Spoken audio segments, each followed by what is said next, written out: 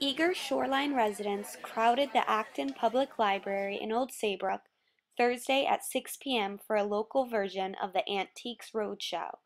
The packed room held people who brought in their old antiques to be examined by professional appraisers.